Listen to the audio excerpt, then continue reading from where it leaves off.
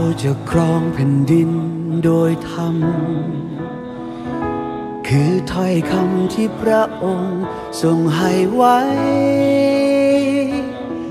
จึงแสนจะโชคดีที่เกิดเป็นคนไทย ได้ภาคภูมิใจเสมอมา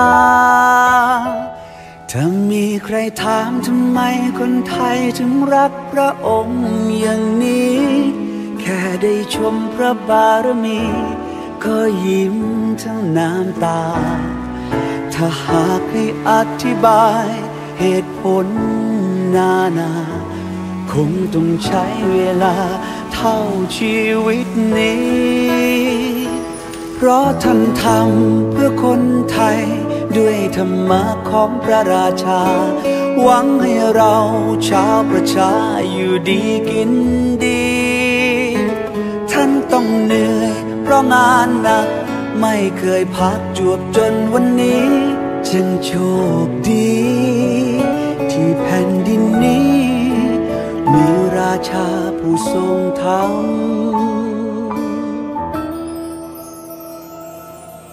ทรงเป็นนิยามแห่งความดี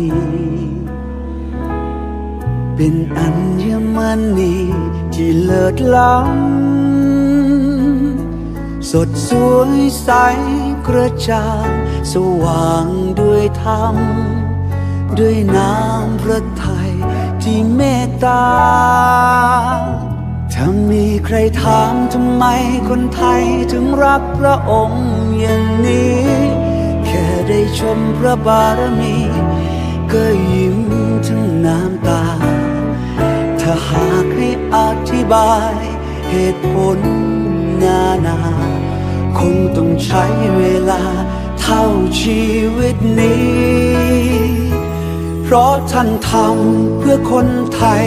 ด้วยธรรมะของพระราชา หวังให้เรา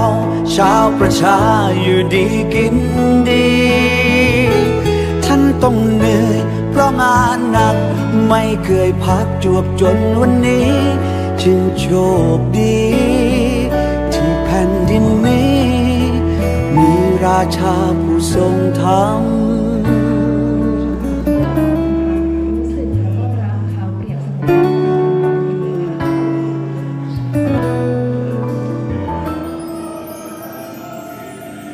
ทรงเป็นนิยามแห่งความดี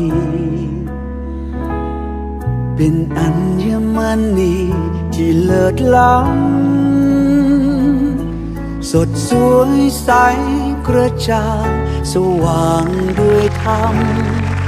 ด้วยน้ำพระทัยที่เมตตา ถ้ามีใครถามทำไมคนไทยถึงรักพระองค์อย่างนี้ แค่ได้ชมพระบารมี ก็ยิ้มทั้งน้ำตา ถ้าหากให้อธิบายเหตุผลนานา คงต้องใช้เวลา เท่าชีวิตนี้ เพราะท่านทำเพื่อคนไทย ด้วยธรรมะของพระราชา หวังให้เราชาวประชาอยู่ดีกินดี ท่านต้องเหนื่อยเพราะงานหนัก ไม่เคยพักจวบจนวันนี้ จึงโชคดี มีราช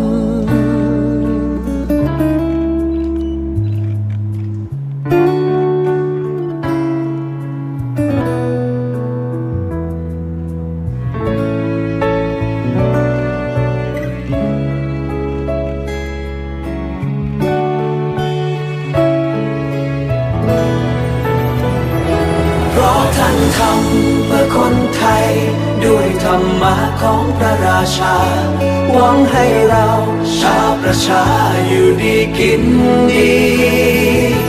ท่านต้องเหนื่อยเพราะงานหนัก